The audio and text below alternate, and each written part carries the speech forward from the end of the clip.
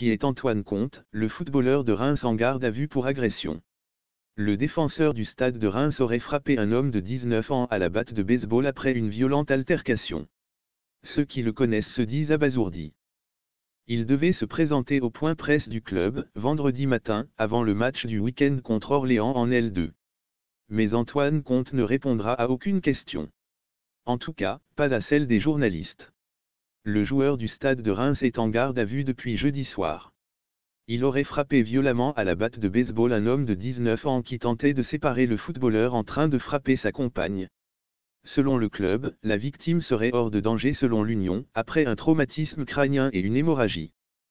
L'information, révélée par Europe 1, a été confirmée par le stade de Reims qui prend connaissance avec effroi des actes de violence inqualifiables auxquels se serait livré Antoine Comte, dans un communiqué, le club champenois précise que ces agissements vont profondément à l'encontre de ses valeurs et exige que le joueur réponde de ses actes.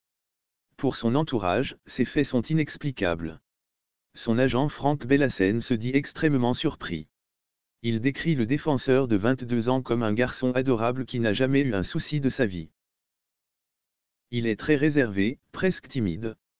Jamais viol, même discours du côté de Pierre Menkavski, le sélectionneur de l'équipe de France Espoir, à laquelle appartenait encore le joueur il y a six mois. Je suis complètement surpris, très étonné. C'est un garçon très calme dans le groupe, très réservé, presque timide.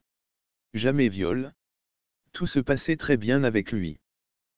Le coach précise qu'il a souvent eu l'occasion de discuter avec Comte mais jamais il n'a senti qu'il pouvait exploser.